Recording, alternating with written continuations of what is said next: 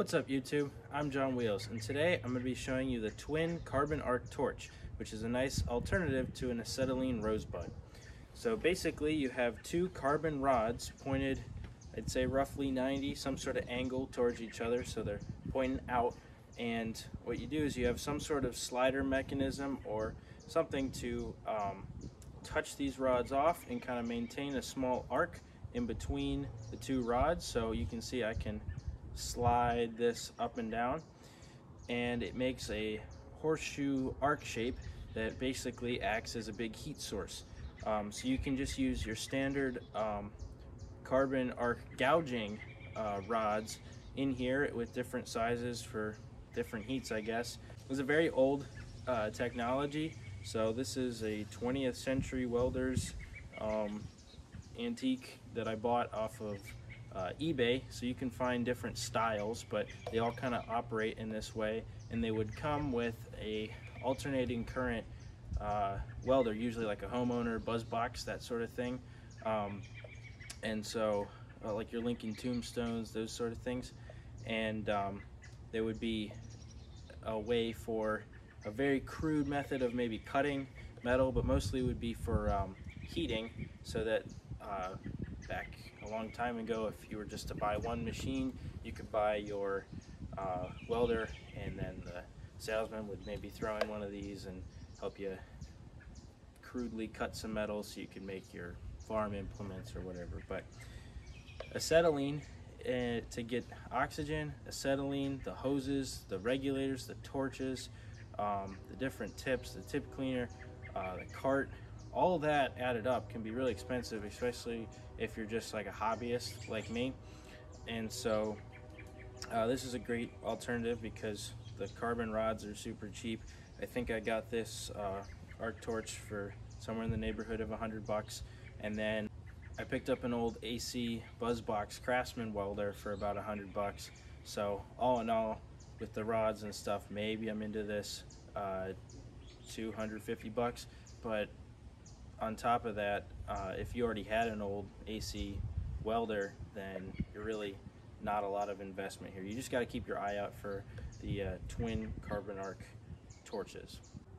So you have to use alternating current. So I tried it originally on my DC stick welder and because something with the current, um, one rod will kind of burn away a lot faster than the other one because um, part of the reason you would switch your polarity when you're welding, uh, stick, well, stick welding is DC electrode positive and then TIG welding is DC electrode negative. It has something to do with the amount of heat in your workpiece versus in your electrode. So on alternating current, it's equal between the two. So that's why this has to be used on alternating current.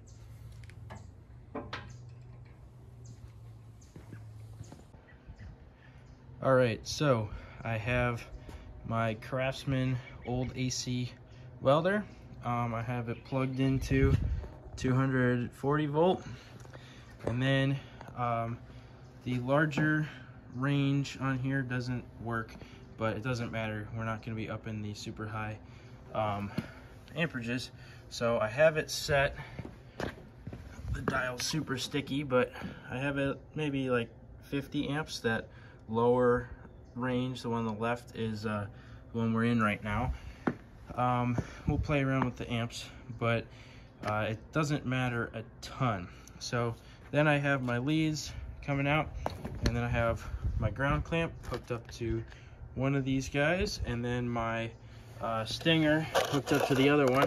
And I just have this little Gatorade bottle just as an extra added protection so that on the ground um, I don't accidentally arc the um, one end to the other.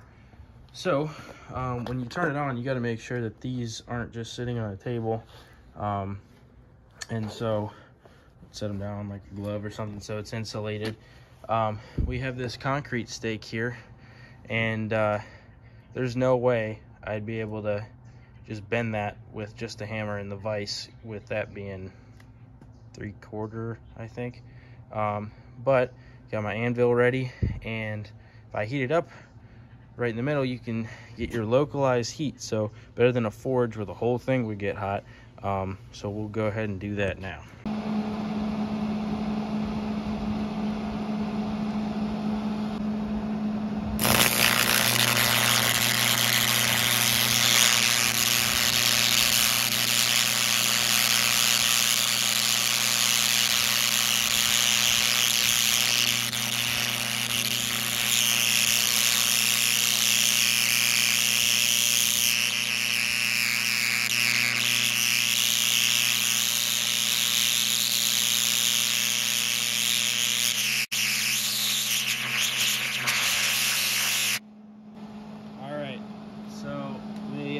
quarter inch carbons weren't quite cutting it at uh we're at like 50 amps. So we're gonna bump it up to the uh, 3 8 carbons and um, see how they do. Now I can tell it definitely got it hotter but still not like glowing orange or anything so let's give it another shot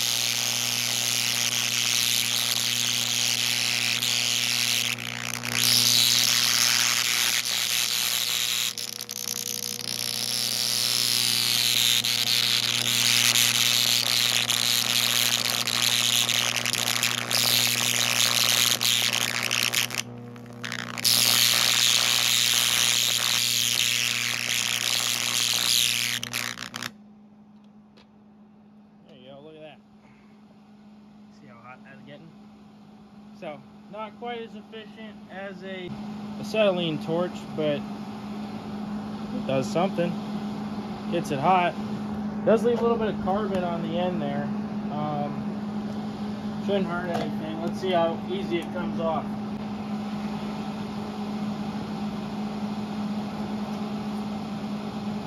Alright, so there's a little bit of carbon. Comes right off. No big deal. Um, yeah, one more time, and then I'll show you how hot it is by um, bending it over here at the anvil.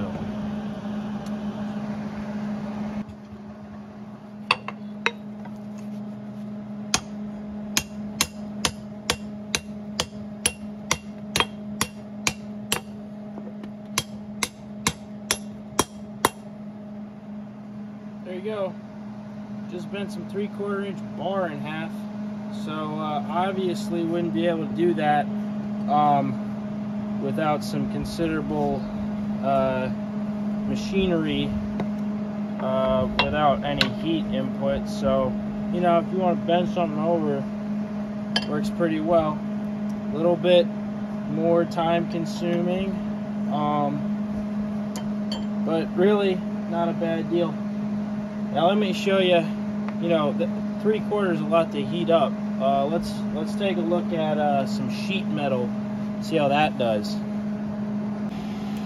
All right, let's see what happens to this little piece of sheet metal.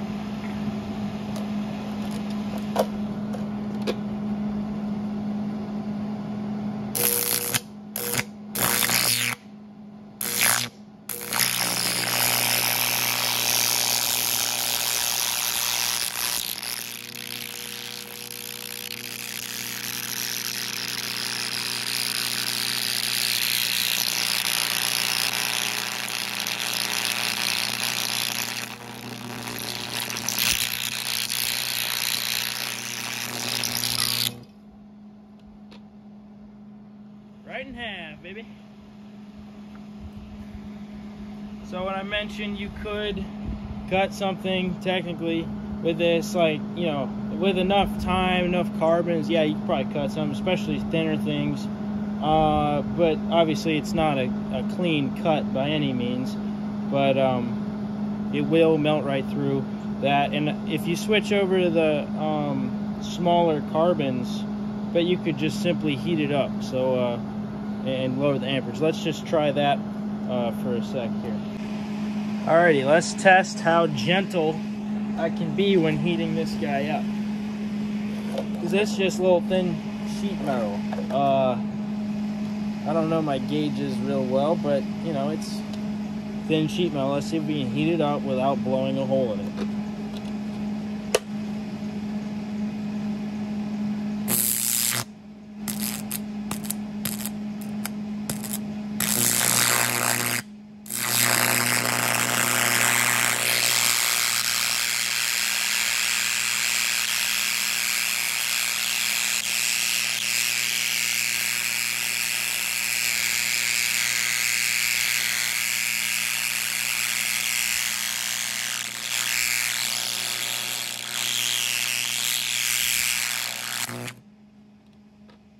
Look at that.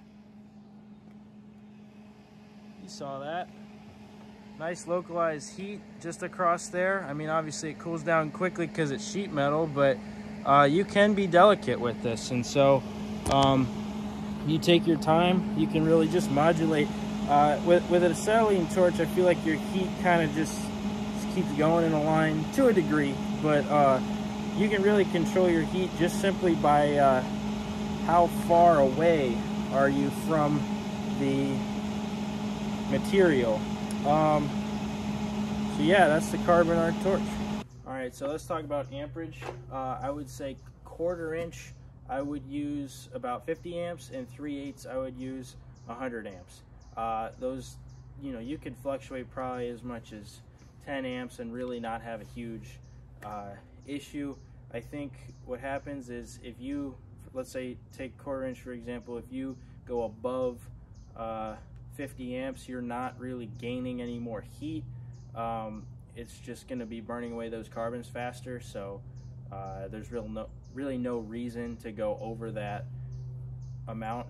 But you probably could get 5 16ths and then just doing a little math halfway in between, I guess 75 amps if you were going to go with 5 16ths. But I think uh, there's no real reason I think if you got your quarter inch for your smaller stuff and your 3 eighths for your bigger stuff, then you'd be kind of set. Um, now you probably could go above 3 eighths, but then it comes into question um, how much can your torch handle? You know, if you look at this, this is just like some uh, steel, like some real thin crimped steel or whatever. Um, at these ends and then the cables themselves are not you know super heavy duty welding cables rated at 200 amps or something so you just don't want to push it. So I wouldn't really I think there's no reason to go above 100 amps especially for anything home hobby. Now in terms of uh, heating up the carbon arc torch is amazing. Um, I think you can't beat the price um, and the convenience of it. But I think in terms of cutting, your best option is going to be a plasma cutter. So I got a Bestarc uh, 7th gen or whatever for maybe 250 bucks. Uh, it works great, universal consumables, and it has a pilot arc. There are a million videos on YouTube about plasma cutters. Uh, I would guess I learned from Pete's Tools, but I'm sure there are a million more.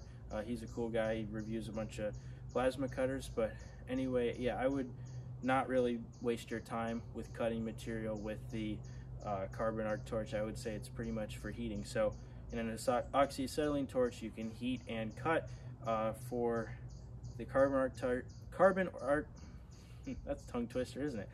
The carbon arc torch, I would say you can heat and then plasma torch, uh, plasma cutter, you can cut. So between the two, you have both operations covered. So that's how I've been able to get by without getting any expensive uh, acetylene tanks um, and stuff like that. So, uh, yeah, thanks for watching. Remember to like and subscribe. Uh, feel free to ask me any questions because I don't see much info about these on YouTube. So, um, I'm not a pro, but I figured I'd give this a shot. And so, anyway, yeah, thanks for watching, and I'll see you next time.